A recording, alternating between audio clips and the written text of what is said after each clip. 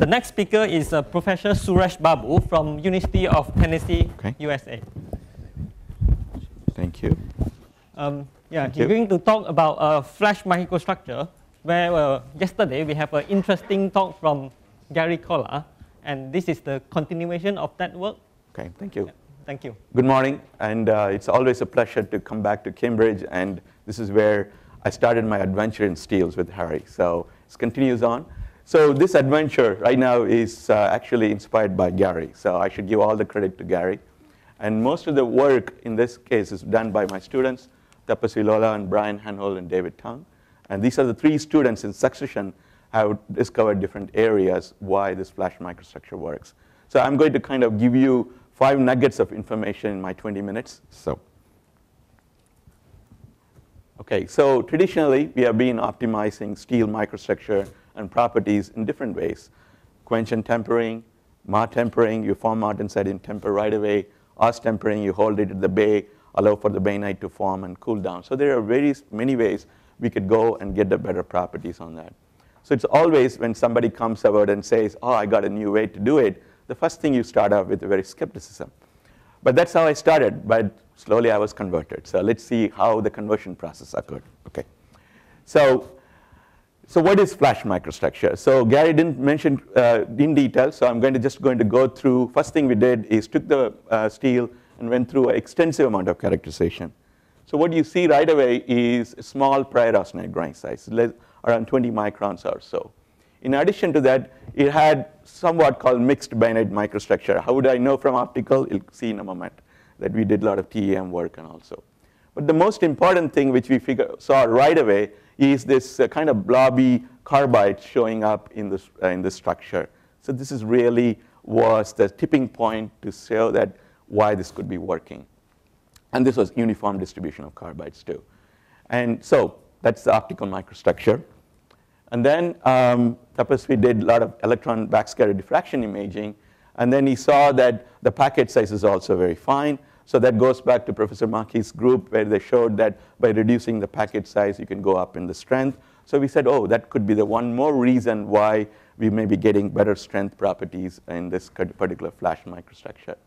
But the question is, is it bainite or is it martensite? What are these carbides? Why did we see these carbides which we saw in optical metallography? So the next step is to go into uh, looking at that much more depth in electron microscope. And that's what we did.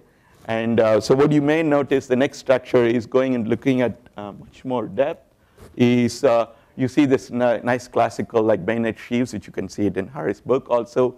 And uh, you see nice subunits forming, and immediately we saw that, okay, there is a bainite microstructure there. In addition to there are a lot of martensitic structure also away from these regions, so it was kind of mixed also. In addition to that, we also saw a lot of carbides, and what really intrigued me is these carbides are very huge. If you look at the thermal cycle, which I'll show you in a moment, these carbides can never form during the thermal cycle. So they should have been already existing and went through the, for the ride through the thermal cycle, so this should be undissolved carbide. So that's what we told us. In addition to that, these carbides were enriched in chromium, so it could never occur during the flash processing also. And also, we had a, uh, we were lucky to go and do some atom probe work in Professor Hono's group, and we saw a lot of carbon redistribution. But however, we were also clear that there is no way we can do atom probe in each and every regions because it's completely heterogeneous microstructure too. Now, let's go back to how did we get this microstructure? So Gary told you about it. You take the steel sheet, go through it, heat it up very quickly, and then quench it in the water. So the first impression you would have thought is, ah, this should have given you 100% martensite. It should be brittle. So that's what my initial reaction was, but I already showed, convinced me that there is appreciable amount of ductility present in this too. So what is the mechanism? So Tapaswi went through quite a lot of uh, analysis, a lot of microstructures, and came up with this hypothesis. So the, the initial microstructure, this particular steel was 8620, that was the original steel Gary worked on it, was spheroidized microstructures. That's what schematically shown. This is actually our experimentally measured thermal cycle during flash processing. Of course, this wasn't easy to get it, so we had to use a tube, put a thermocouple underneath so that it doesn't, water doesn't immediately hit the thermocouple. That's how we got this thermal cycle. So you can see a gentle preheat because the, the sample is reaching the hot point, very quick heat up, very short hold time, and then there it goes, a very, very fast quench. So initially you have kind of spheroidized carbides, and as it gets heated up, you get the austenite formation, but not much time for these carbides to dissolve. This is not new. People have seen that in the case of chrome, chrome-rich uh, M236 don't dissolve in austenite even after one hour. So then you quench down. So what, because of that, what happens is the original austenite, which is before quenching, is not homogeneous in carbon concentration. That's our hypothesis, and that's how we explain what microstructure we are getting. I wish we have an in situ tool to follow this. We only followed this, only temperature. We can't do this right now, even in any synchrotron experiments. But that's one thing which we are thinking about how to do this later. But most important thing is, what does it do with this flash microstructure? So this is Gary's data. I'm putting it in collection of all the data available on this uh, so-called banana curve. And uh, you can see that these are the data which uh, Gary produced in his uh, um, shop and the different samples, different materials. That's how the microstructure comes. And we started wondering, why do we get this Im uh, improved strength more than the martensitic microstructure? And this is also not new. Professor Bhadeshia published this already. You can see volume fraction of bainite increasing. You go through a little bit of yield strength increase. Of course, we are kind of transcending that yield strength effect to the tensile strength here also. But however, this mixed microstructure is the main reason why we get these unique properties. Now, the question which we have to understand is, okay, so good. Can we actually design this a priori? Now we stumbled onto this discovery. Can we actually design this? So the key parameter for this is undissolved carbides. So we need to make sure the carbides don't dissolve when you go through a, this rapid thermal cycling, short hold, and cooling down. That's the key. And again, this is not new. This has been addressed by many researchers in the literature. So we said, okay, let's take that and then see how we can understand this also.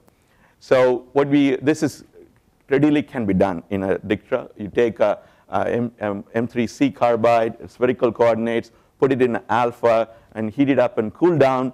And then you say that, well, around this interface, you can form austenite, and then that austenite can grow into both cementite and alpha. So that's what we are doing. So we wanted to compare a pure cementite with no alloying additions and with alloying additions. So that's what we did in our simulation. I'll go through a series of graphs and explain what we found in this. So it may not be uh, very new for you. Already you can know the reason what's happening. So, so let's see cementite. So this is a system uh, definite boundary conditions we are using. So you can see that more specifically I would like to discuss is the what is the cementite concentration of chromium which you're going to use in the case of an alloyed steel. And these carbon concentration, cementite, chromium concentration in the ferrite, all of them were taken from at a particular temperature. If you do an equilibrium, like a spheroidizing treatment, what would be the concentration? That's what we are using here. And then we heat it up at 110, 100. You will know that why I didn't go above 100 degrees centigrade in a moment. So let's see cementite, just Fe3C. Okay, so let me explain this diagram. This is a temperature versus time in logarithmic scale, and you're heating up quickly. This is one degree centigrade. Please allow me to. It's not slow heating, but still, let's uh, talk about what happens in phase transformation. And then this is a cementite here, and this is a ferrite. That's the interface.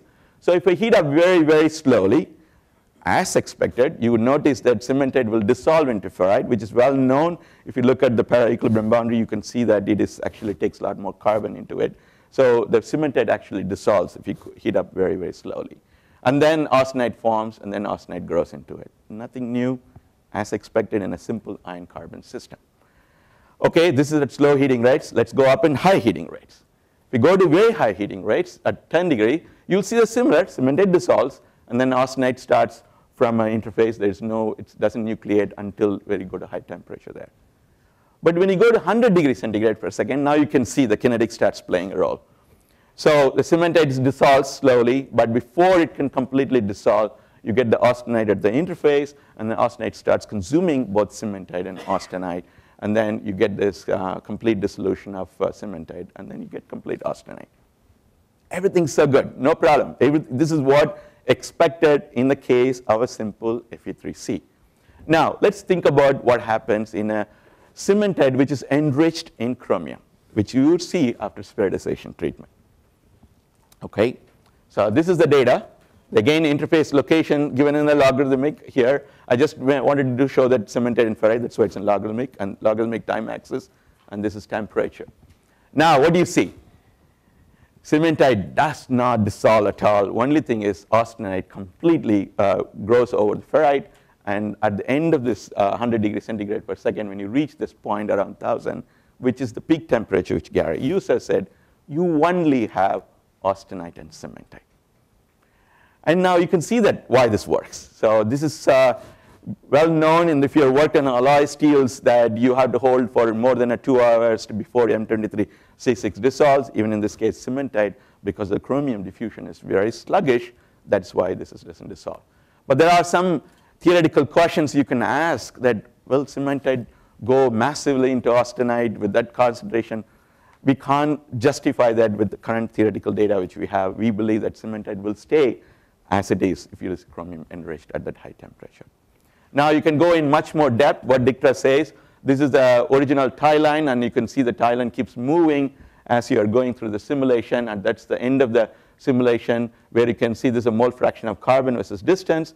And then that was at the room temperature. We just dissolved very little, even at 1 degree centigrade per second. And what you also notice, very interestingly, is there's a chromium enriched austenite too.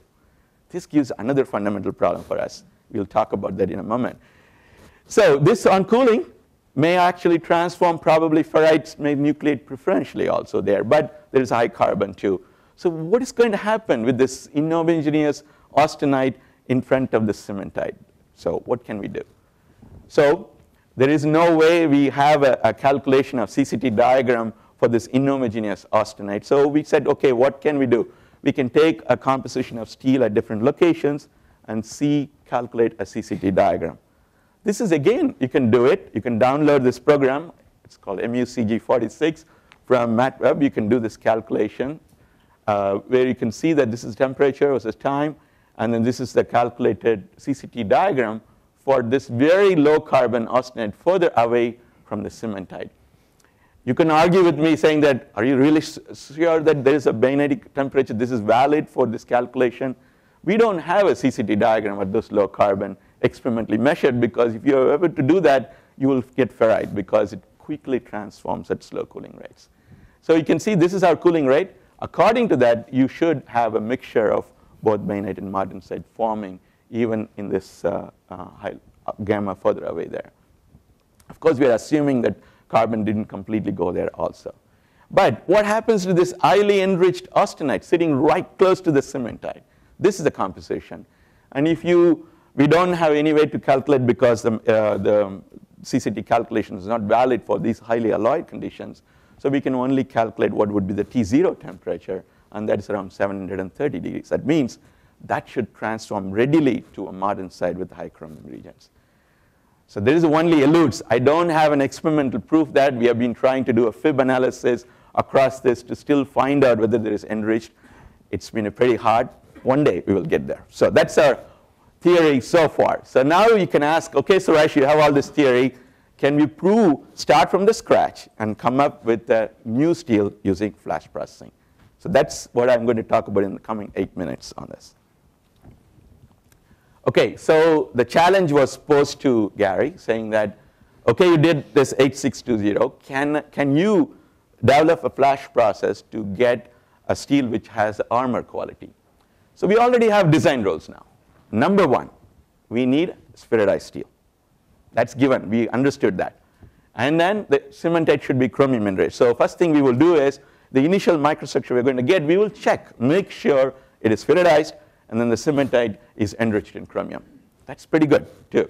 And then we need our flash thermal cycle. So those are the three things. But however, we also need a reference point. So we used a commercially available high hard material. But what is important you notice is the carbon levels are similar. The only difference is the chromium levels are changing. So you can, composition is more or less similar to what you get from high hard. Now, let's see the initial microstructure. So this is our initial microstructure before flash processing, spheroidized. And I would like you to kind of take this in a little bit. You will see this banding nature, and then the carbides are non-uniform but spheroidized. And this is a hardness map. We nowadays we do any steel which we are working on. We don't do one hardness. We actually do a hardness map to see a spatial inhomogeneity, which we are starting with already. And you can see there is already a, some inhomogeneity in the original plate we are receiving. And this is not only with our steels, you can see it in high too. I'm not going to talk about this in this uh, lecture, we'll see later, okay? So, spatial distribution, that's the original structure. Now let's go through the flash processing. So we do the flash processing, again, consistently, we see this carbides there, very fine austenite grain size, mixed microstructure, what we saw in H60. It was like really interesting. Irrespective of the two different steels, the microstructure looks similar. And then we did the hardness map, and then we see that the carbide distributions are a little bit different, but of course, this is mainly comes because of the inherent segregation which we had originally too. And that also leads to an hardness gradient. I would like you to point out that even though colors look different, the minimum hardness here is 500 compared to 600. Previous one was very soft. Okay, we just proved that flash microstructure works. We can get the flash microstructure. The question is, did we get good mechanical, good ballistic properties? So this is a tensile test data um, um, Brian did, Brian Hanhold, he's, he's at Ford right now. He went through a very um, critical analysis of everything. We did the similar testing conditions, similar geometry for a high hard, similar geometry for flash process. So the geometry effect was completely eliminated. And then we uh, also did quite a lot of hardness mapping and then everything to show that, that the properties of the flash process are a little bit better than high hard material. That's encouraging. So, but in all, both the cases, we have a through thickness hardness gradient. So I want you to keep that in your mind when you see the ballistic test. Now, what happened with the ballistic testing? I cannot give you the details about the rounds used and everything. I think if you're interested, talk to Gary about that. Okay? And this is the original plate. You can see that inherently there is a segregation there. And this is uh, um, the flash process, and then the hardness maps are there. You can see that it's hard here, a little bit soft there. And that's what before impact. And then after impact, you can see this is where the bullet struck, and you can see a crack formed, and it bifurcates here. And then it is very, very interesting. We still don't understand that there is a humongous amount of hardening going on across the whole sample through thickness too. But the what key point which you have to remember is look at the crack, how it is deflected and it stopped the bullet. And this uh, gave very good feel, sense of feeling gratitude that yes, it works. It can give a ballistic property by just going through the flash processing. So we could engineer the properties by going through step by step by step. So that was good. Now, of course, the challenge adventure continues on. So we said, oh, we got this one. Then they said, why didn't you do structural armor? That means able to weld it. So the key question which was asked to Gary is, okay, you do flash processing. Is it possible to make construction like this? Can you meld, weld these things uh, with this flash process steel? You show that uh, can you weld it, then it may be a good idea to do that. So that led to Brian's whole master's thesis. And then he actually did a lot of weldability analysis on that. So I'm going to give you salient results of that, okay? Let's talk about uh, what happens First, when you do gas metal arc welding. And this is a gas metal arc welding process routinely used. If you go and you can actually download this as a standard practice given for any armor plates. This is a standard uh, welding voltage, current, and everything you have to use. And then we used a particular filler metal. Don't worry about filler metal. This is the heat affected zone here. And you can see it's not very hard, it's soft. And it also creates a huge heat affected zone. And then if you aim and shoot at that, uh, that heat affected zone, no wonder the bullet goes right through. So that means heat affected zone is the most weak point. But yes, it is 22 millimeters there. Then Gary challenged Brian saying that why don't you reduce the amount of heat affected zone? Can you do that? So that is the time around 2010 or so we were getting this fiber optics lasers, uh, fiber lasers coming on board our next door neighbor uh, in EWI. So we said, why don't we go to the laser welding process and see whether we can reduce it. So that's what we did. And uh, by doing laser welding, what we have done is we minimize the heat affected zone thickness. Of course, you can, what's interesting is that you do get hard microstructure in weld metal and also in the uh, base metal, the amount of softening is also minimized there also. And fortunately, there is no cracking either also. So that's good news. Then Gary was not satisfied with that. Said, I want to make sure that if I hit the bullet at the heat affected zone, will it stay? As indeed, it's not isn't because soft. It goes right through. This is the table underneath the table, uh, underneath the plate. Okay, you can see it. And that shows, but we have reduced the heat affected zone uh, thickness. So we have decreased the vulnerability, but still there.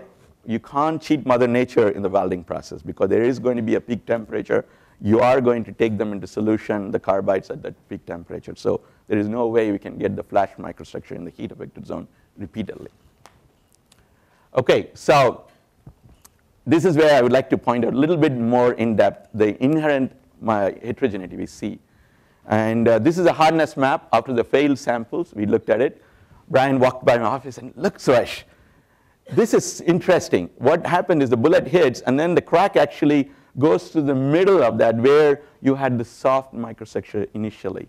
So it seems to be some indication that we can engineer these microstructures in a way to deflect the crack path, and that way we may be able to get better ballistic performance in that. We haven't solved that issue yet, but this gave some ideas how we can tweak inherent macro segregation and flash processing to come up with unique microstructures also. So that's our future directions. Gary drives us crazy every day. He calls me up, can you do this, can you do this? So we are working every way to see how we can take this uh, flash processing to be relevant to wide range of applications on that. So that comes to my 20 minutes. I'd like to stop here. So there are three questions. What did we find? What are our design rules? What is the significance? So you can read the answers there. Thank, Thank you. Thank you, Suresh. Um, okay. Suresh, very, yeah, very exciting talk. Uh, a peripheral issue. Sure. You are showing a plate that is six to eight millimeter thick. And you are saying that for your process to work, you need to heat and cool very rapidly. Agreed. It would be very worthwhile so that your results can be reproduced irrespective of whether it is done at Ohio State or Penn State or Cambridge University. Agreed. For you to specify what is the sensitivity of your process on the heating and cooling rates and how fast you can actually heat up and homogenize that, that stuff. Because it's one thing to say 200 micrometer sample that you can heat and cool very rapidly. It's another thing to say that you take a half an inch to an inch sample and you heat it at, at uh, zillion degrees centigrade per second and cool it at zillion degrees centigrade per second and you get these wonderful microstructures. Understood. So sprinkle some ips and buts, it will save you a lot of hassles. No problem. Thank you. I think that's a great way to segue to, I would like to talk about Gary's uh, because we can't heat one inch. We are not heating very high heating rates. We are heating up at 400 degrees centigrade per second and cooling and the water quench process. So what Gary has innovated around, this is where Gary, I'm going to rely on you. To heat up, he has actually put end effectors in induction heating so that he can penetrate deeper also. He works with uh, people who are very good in induction heating processes. They work with him closely on that. So can we do it in Ohio State, Cambridge, or different places? Gary is ready to deploy systems whenever you want. You can actually take it and do evaluation for your own self because these equipments are actually deployed in other places too, correct, Gary? So if I answered that question. So there is actually, it's 400 degrees centigrade per second heating rate. All those things can be reproduced, but not too thick. I agree. yeah. Go ahead. Suresh, uh, yes. Uh, two quick questions. One, uh, whether you need to add, we need to add chromium all the time to get these properties. Number one. Okay, so that's that's interesting. So the what our whole thing relies on undissolved carbides. If I can make sure the carbides don't dissolve, that means the carbon is stuck in that. Which one, the chromium, is the most easier for me right now? Yeah, but yesterday Gary was talking about an alloy which is 1010.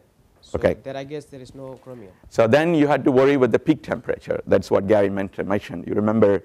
So you, so you have, how many things you have? You have a chemical way you can control or a temperature time you can control. So you could, if you don't have that liberty, then you have to do the temperature time. So you can ask me a question, Suresh, do you know what the temperature time would be if it is not alloyed with cementite? I don't know right now, but we could calculate that.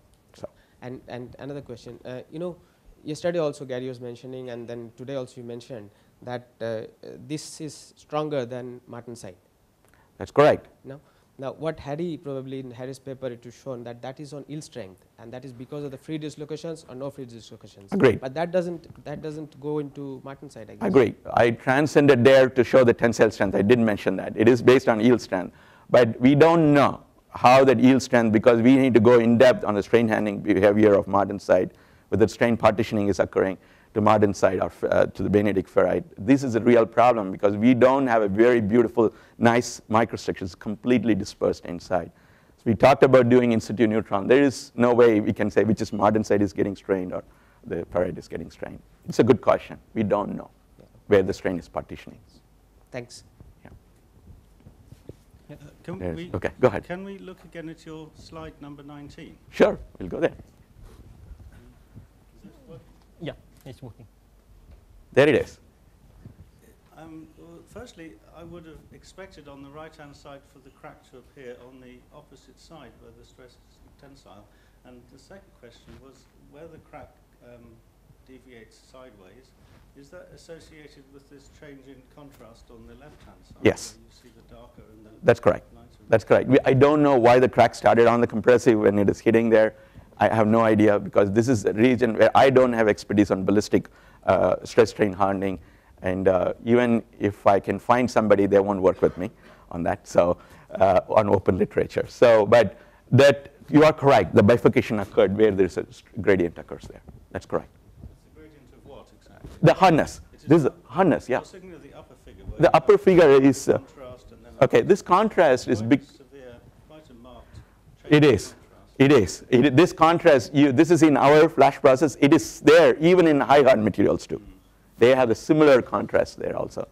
And that change of contrast is exactly where the crack changes direction. That's, uh, yes, because you can see it's compressing a little bit. If you walk backwards, that is where it is. So that's what Brian told me that. He educated me on that. So, That's the part that was austenitized, surface. so uh, austenitas is through, through the whole thickness. Uh, it, it- this change, the hardness does change through thickness from the original microstructure, John. It did. But there is an inherent segregation in the sample. We, that's what we receive from the steel makers. So the question is, what that, Ye- okay. Yeah, I have two questions, Suresh. Yeah. Is when the carbide, carbide, chromium-rich carbide does not dissolve, how does austenite get enriched with chromium? Good question. Okay, DICTRA this simulation we have done. We have done with the point, uh, how much, I forgot, 0.5 micron thick. If I had a different population and C distributed around, and then some of them may dissolve, and you may have that because I'm only doing one carbide at a time. If you think about the whole structure, there's a lot of carbides there. So I wish I could do that. My, my second question is, Yeah. the thermal cycle in the heat-affected zone is very similar to the flash process. Agreed. But why does it then soften? So peak can temperature. Perhaps tune the parameters in such a way Yes. that in the heat-affected zone, you do flashing. as Sure. well. That's was our original goal. Gary actually pushed us to say that, well, in the heat affected zone, you have a similar thermal cycle if you go to laser. So why didn't you get it? So the main thing is you have to remember is the peak temperature. Peak temperature is very high. If you go, it doesn't matter whether chromium or there, it is going to dissolve. You, you can actually do that simulation, go down 1400 degrees, diffusivity goes through the roof. Yes. Francisca. Uh, Suresh, I wonder why you have not yet uh, checked those carbon and chromium concentration profiles. Chromium, it will be really easy with EDS or electron-probe microanalysis. Carbon is a little bit harder, but you know, atom-probe tomography. Yes, you have not yes, that is what we have been trying. So I don't know how many of you tried the chromium car, uh, cementite and uh, ferrite and then doing uh, atom probe. It's not easy, as you may know. It, in the, if, you use a la- if you use a laser, uh, Mike Miller said that using laser is not a good idea for this kind of compositional analysis. But we have tried both atom, uh, but voltage probe and laser probe. And the main, many times when we do that, it just ruptures that carbide. So I spent six months to get one M23C6 and austenite boundary. I know the problem. But we are not giving up. We will go there. We will. So Carbides are not too fine. They, are are coarse co- enough coarse. for a Microprobe, but, the, but we tried doing EELS analysis across that. We don't have that resolution to see whether there is any chromium concentration there also. Um, Yes.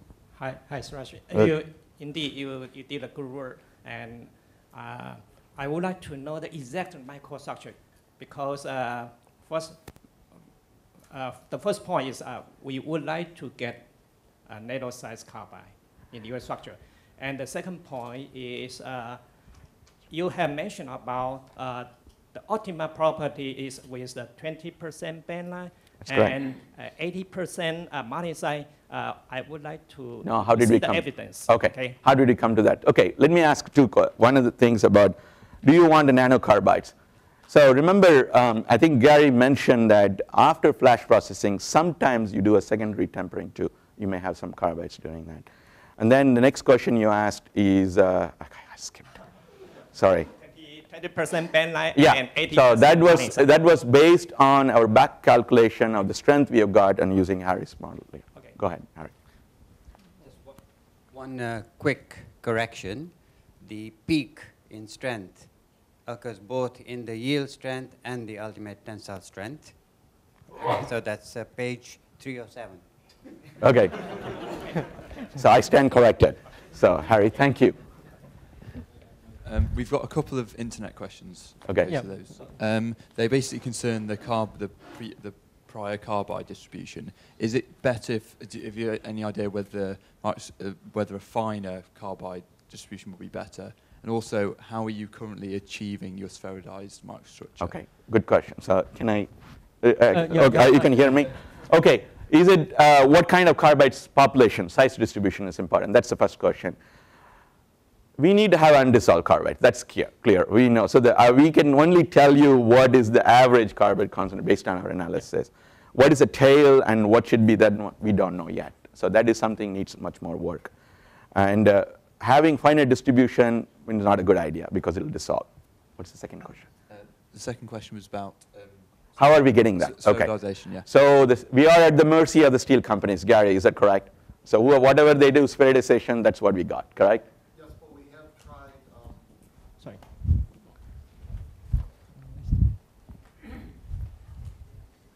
one of our limitations with the process has been that we've worked with commercial off-the-shelf steels.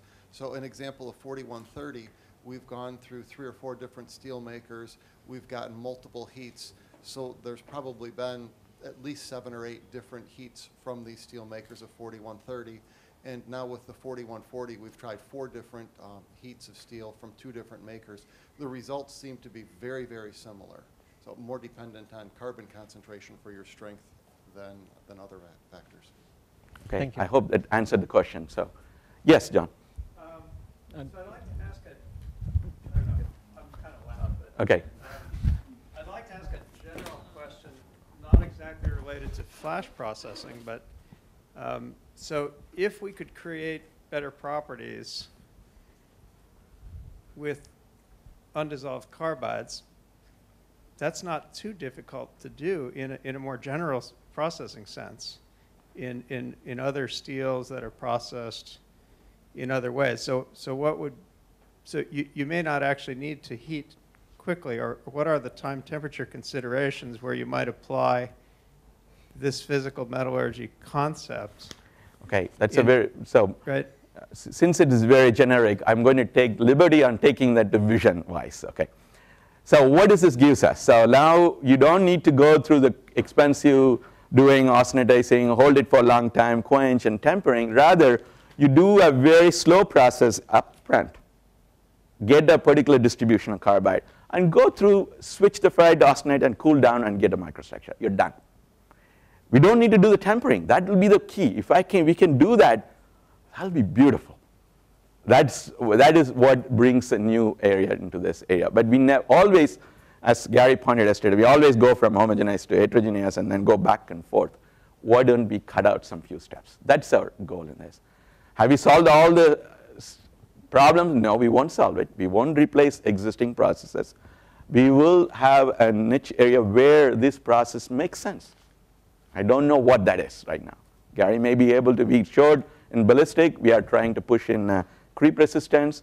We will have challenges too. We are trying to produce on the fire resistant. Yesterday there was a question. We have been playing with that too. But will it be a panacea for all the problems? No, I don't think so. That is not the intention of this talk. It's more about fix, finding the solution where it can be make sense. Um, thank you, Suresh. Okay. Um, I guess.